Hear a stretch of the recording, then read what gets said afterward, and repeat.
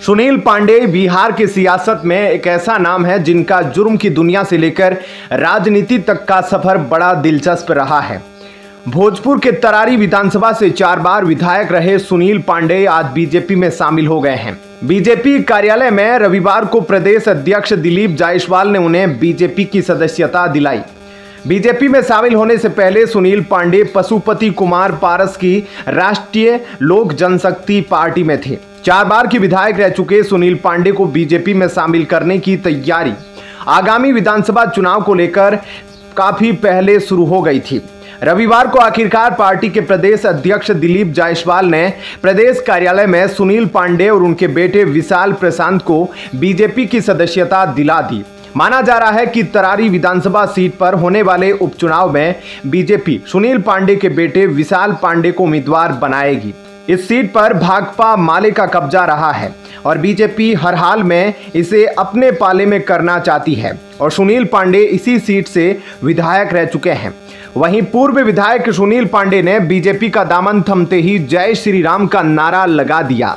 सुनील पांडे ने कहा कि वे लंबे अरसे से एनडीए के कार्यकर्ता के तौर पर काम करते रहे हैं। लेकिन अब अपनी पार्टी बीजेपी में शामिल हो गए हैं। उनका मकसद आगामी विधानसभा चुनाव में पार्टी को जीत दिलाकर सरकार बनवाना है। सुनील पांडे की छवि बाहुबली की रही है और 34 साल की उम्र में वे साल 2000 के विधानसभा चुनाव में पहली बार जीत हासिल कर विधायक बने थे। साल 2000 में समता पार्टी के टिकट पर पहली बार पीरो से चुनाव जीता। उसके बाद फरवरी 2005 और अक्टूबर 2005 में हुए उपचुनाव में भी उन्होंने इसी सीट पर जीत दर्ज की। साल 2010 में सुनील पांडे ने जेडीयू के टिकट पर तरारी से चुनाव जीता था। 2015 में उनके खिलाफ आपराधिक मामलों को देखते हुए जेडीयू ने उनसे किनारा कर लिया, तब नीतीश कुमार महागठबंधन के साथ थे। 2015 में सुनील पांडे की पत्नी गीता पांडे एलजेपी के टिकट पर तरारी से चुनाव मैदान में उतरी, लेकिन उन्हें हार का सामना करना पड़ा। 2020 के विधानसभा चुनाव में सुनील पांडे निर्दलीय चुनाव मैदान में उतरे और दूसरे नंबर पर रहे। बीजेपी के कौशल विद्यार्थी इस चुनाव में तीसरे नंबर पर चले गए थे और जीत सुदामा प्रसाद की हुई थी।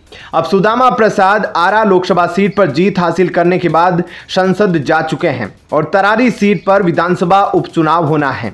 गौर करने वाली बात यह है कि बिहार में इन दिनों बाहुबलियों के अच्छे दिन चल रहे हैं। पिछले दिनों पूर्व विधायक अनंत सिंह को कोर्ट ने बरी किया और अब सुनील पांडे की बीजेपी में एंट्री हो गई है।